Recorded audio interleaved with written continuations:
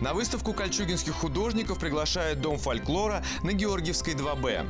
Там выставляются мастера из клуба ремесел и творчества «Росток». В экспозиции представлены живописные графические работы разных жанров от портретов и пейзажей до натюрмортов и авангардных сюжетов. Выставка работает до 24 апреля с 9 до 17.00.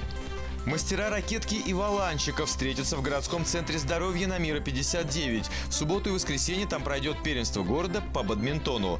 Начало соревнований в 11 утра.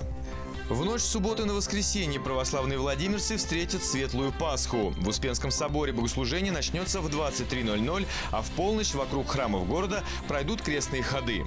В Светлое воскресенье в 16.00 у Золотых ворот верующие встретят благодатный огонь, а затем праздничный крестный ход пройдет по Большой Московской до Богородицы Рождественского монастыря. На время воскресного крестного хода с 15 до 18.00 будет ограничено движение всех видов транспорта по улицам Дворянской, Большой Московской, Большой Нижегородской на участке от Студеной горы до площади Фрунзе. Общественный транспорт пойдет в объезд, в том числе по Лыбецкой магистрали.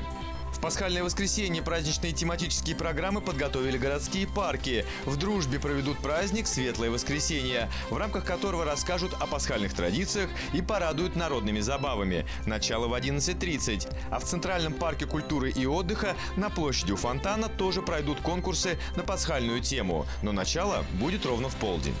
Самых маленьких зрителей в воскресенье ждет спектакль «Необыкновенное состязание». Сказочную историю о невоспитанном зайце и мудром еже, которые решили устроить необычный забег, покажут в областном театре кукол. Начало в 11 утра. Послушать мировые шедевры музыки в исполнении камерного ансамбля «Арт Плюс» и саксофонистов из музыкального колледжа все желающие смогут в воскресенье в областном доме работников искусств. Музыканты исполнят произведения Баха, Безе, Равеля, Пьецоллы. Начало концерта в 17.00.